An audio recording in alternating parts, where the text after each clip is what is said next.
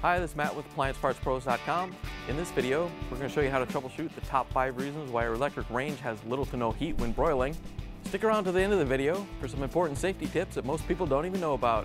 But before we begin, we're going to make sure the appliance is unplugged or the circuit breakers are off so there's no chance of electrocution. The first thing to check is the power supply. Electric ranges need a full 240 volts to heat properly. If you only have 120 volts coming in, the lights may come on, but the range won't heat. So you'll need to go check the circuit breakers. Whether they're tripped or not, we're going to reset them. Then we can check the wall socket with a multimeter set to volts AC. Test each side to make sure it reads 120 volts.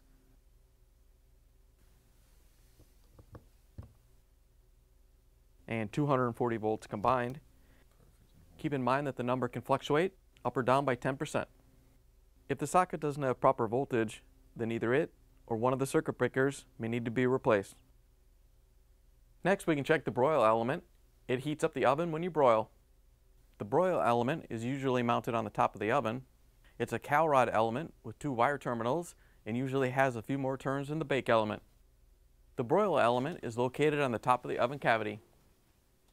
If you're getting little to no heat when broiling, it could be that the broil element has gone bad.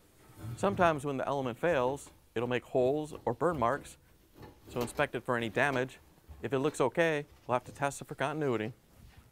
In order to see if the part can carry an electric current, we have to test it with a multimeter set to continuity. Once you have it set, touch the probes together to make sure it's working.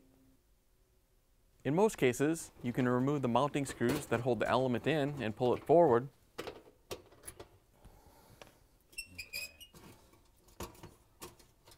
Once you have access to the wires, you can remove them but be careful they don't slip back through the rear hole, otherwise you'll have to retrieve them.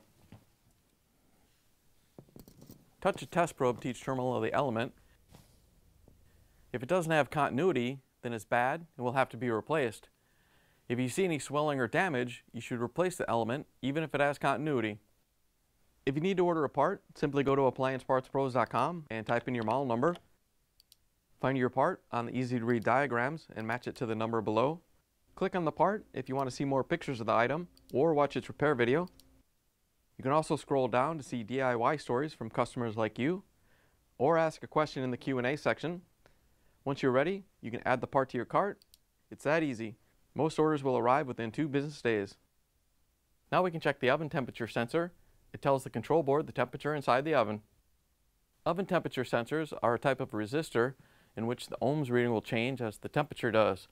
They're usually a small metal rod with a mounting plate and two wires. Oven temperature sensors are usually mounted in the upper left or right corner of the oven, but in order to test it, you'll have to go around to the back of the range.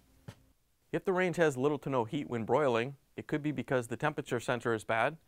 The most common sensors should read around 1080 ohms at 70 degrees Fahrenheit.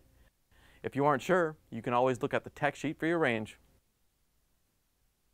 The sensor can fail in two ways.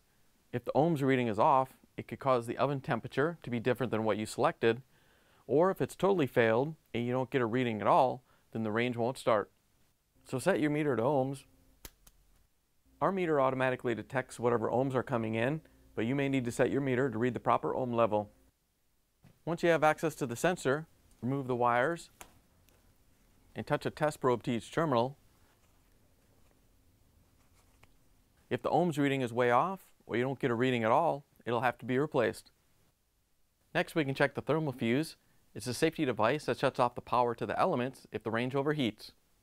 The thermal fuse is usually a small round fuse that shuts the power off if the range goes over the rated temperature of the fuse. They usually have two wire terminals to attach the wires. They're usually located on the back of the range behind an access panel. If the range has little to no heat when broiling, it could be because the thermal fuse is bad to see if it's gone bad, we'll have to test it for continuity. So set your meter to continuity again. Once you have access to it, you can take the wires off and touch a test probe to each terminal. If it doesn't have continuity, then it'll have to be replaced. As always guys, hit those like and subscribe buttons now to help support us making more of these videos. The last thing to check is the oven control board. It controls the functions of the range. The oven control board is usually a computer board. It collects all the data from the sensors and switches and controls the functions of the range. It's usually mounted in the middle of the control panel on the range. If a relay has failed on the board, it may not send power to the broil element, causing little to no heat when broiling. There are a lot of different control boards out there, so we can't show you how to test them all. You're going to have to grab your tech sheet and follow the diagnostics or error codes to see if it's gone bad. In this example, you would have to enter the diagnostic mode and press broil to test that the relay is sending power to the broil element. If it fails the test, it'll have to be replaced. Now here are those safety tips we mentioned earlier. A lot of people are still using aluminum foil to protect their ranges from spills and grease buildup. Although it may seem like a good idea, you may not be aware of the dangers it can pose.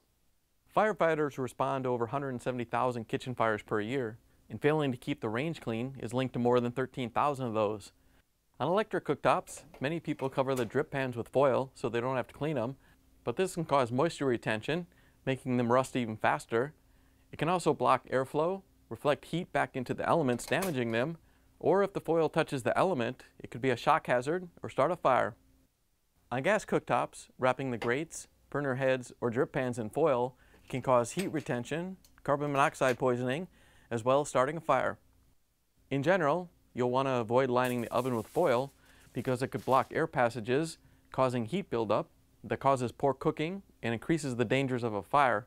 If the foil gets too hot, it could melt, damaging the oven lining or starting a fire. With electric ovens, putting foil under the element could cause heat to be reflected back into the oven, overcooking the food and possibly damaging the element.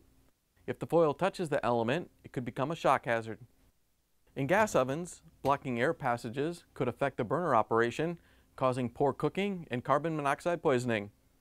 You also don't want to completely cover an oven rack, as this will disrupt the airflow and cause cooking problems.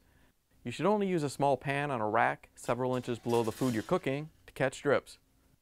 Due to these dangers, you don't want to use aluminum foil to try to keep the range clean.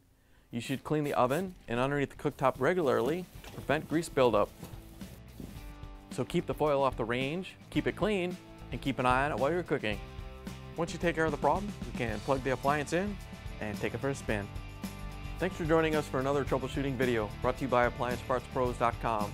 Remember to hit the like and subscribe buttons now, and if you have any questions or want to share how your repair went, leave a comment down below.